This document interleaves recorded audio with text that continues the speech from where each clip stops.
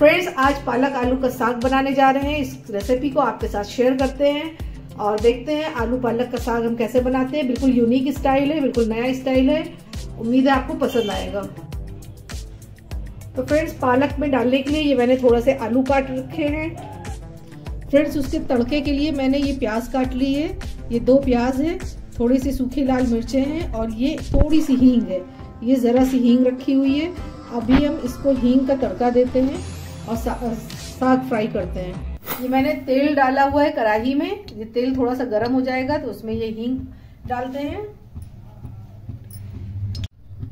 अब इसमें तेल खरा हो गया है। हींग डालने के बाद हम डालते हैं इसमें अपनी प्याज।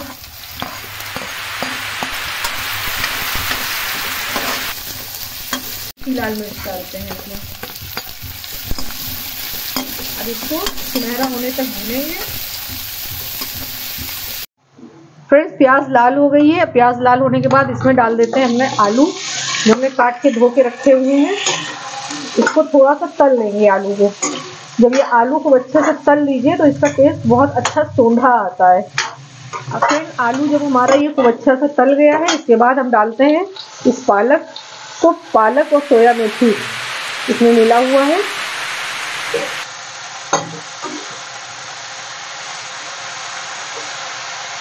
इसको को अच्छे से मिला देते हैं। ये आजकल सर्दियों में बहुत ही मज़ेदार इसकी ताज़ा सा ये नमक डाल देते हैं। हम पिंक सॉल्ट इस्तेमाल करते हैं फ्रेंड्स ये हमारा पिंक सॉल्ट है।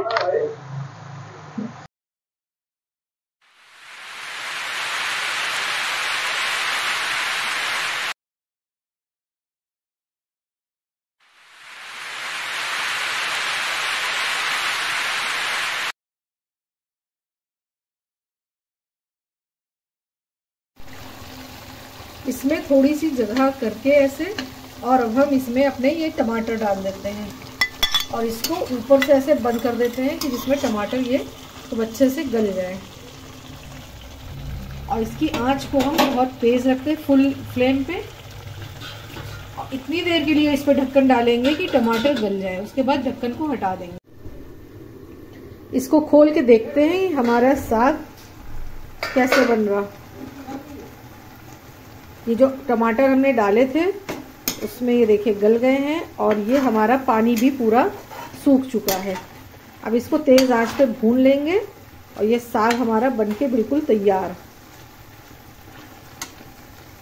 ये देखें फ्रेंड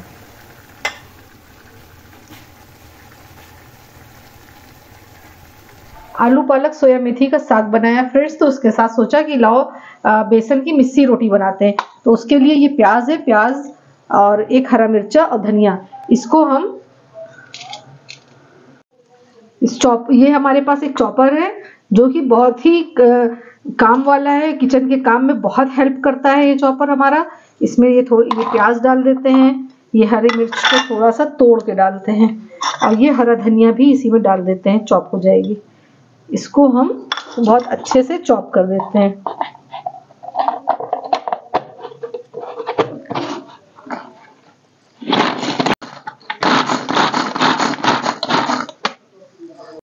फ्रेंड्स, ये देखें, धनिया, मिर्चा और प्याज को हमने खूब अच्छे से चॉप कर दिया।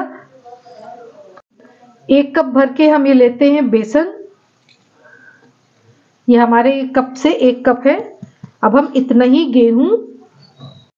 ये एक कप हमारा गेहूँ का आटा। फ्रेंड्स, ये चौथाई कप हमने मकई का आटा इसमें ले लिया है। तो अब ये बेसन, गेहूँ और मकई का आटा है।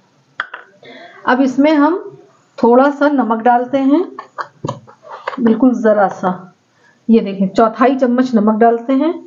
और इसमें जो हमने ये अपना प्याज, धनिया और हरा मिर्चा चॉप करके रखा हुआ है, इसको डाल देते हैं।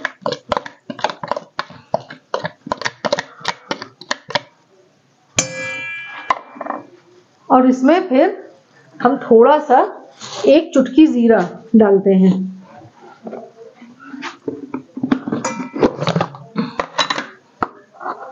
ज़रा सा, एक चौथाई चम्मच जीरे का हम डालना है। अब इसको खूब अच्छा सा आपस में मिला देंगे। एक जान कर देंगे इसे। ये बहुत ही टेस्टी और हेल्दी रोटी बनती है, मिस्सी रोटी, जो साग के साथ तो बहुत ही ज़बरदस्त लगती है। बिल्कुल सौंधी। पहले चूल्हा उल्हा होता था तो लोग चूल्हे पे बनाते थे, बहुत ही मज़ेदार बनती थी। लेकिन अब गैस पे बहुत वो टेस्ट तो चूल्हे वाला नहीं आता है, लेकिन फिर भी हम लोग कोशिश यही करते हैं कि गैस पे भी वही टेस्ट लाएँ, जैसा चूल्हे का होता है।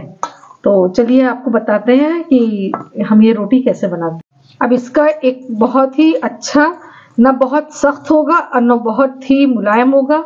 नॉर्मल सा डो बना के तैयार करते हैं।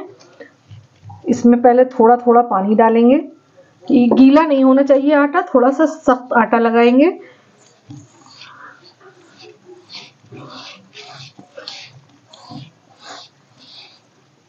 इसमें थोड़ा सा पानी और जाएगा।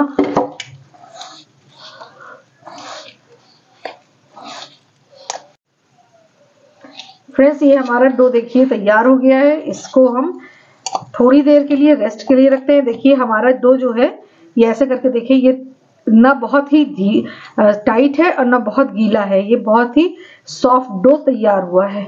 अब इसको हम रेस्ट करने के लिए रख देंगे। पाँच से दस मिनट, उसके बाद हम इसकी रोटियाँ डालते हैं। ये सरसों का तेल थोड़ा सा हाथ में हम लगा लेते हैं। हाथ में लगाने के बाद इसकी लोई काटेंगे हम। अपने हिसाब से जितनी हमको मोटी रखनी क्योंकि गैस पे बहुत ज़्यादा मोटी रोटी अंदर से कच्ची रह जाती है। इसकी लोई बनाते हैं हम। पेड़ा। इसका पेड़ा बना के ये देखें फ्रेंड ये पेड़ा बना लिया।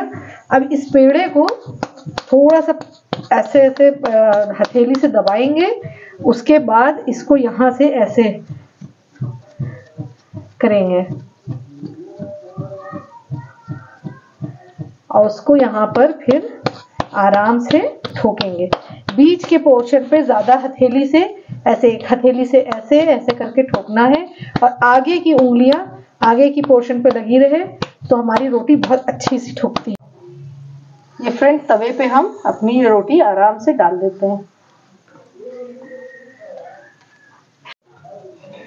ये रोटी फ्रेंड एक तरफ़ जब हो जाती है इसकी आँच बिल्कुल आ, स्लो करना है बिल्कुल सिम पे रख करके ये रोटी को थोड़ा थोड़ा सा चाकू से या किसी चीज़ से उठा के अब इसको पलट देते हैं। रोटी को हम खूब अच्छा सा सेकते हैं। पहले खड़ा करके सेकेंगे कि इसके किनारे किनारे के एजेस खूब अच्छे से सीख जाए और उसके बाद हम इसको ऐसे पलट के सेकते हैं। तो ये हमारी बहुत ही अच्छी सी रोटी सीख जाएगी।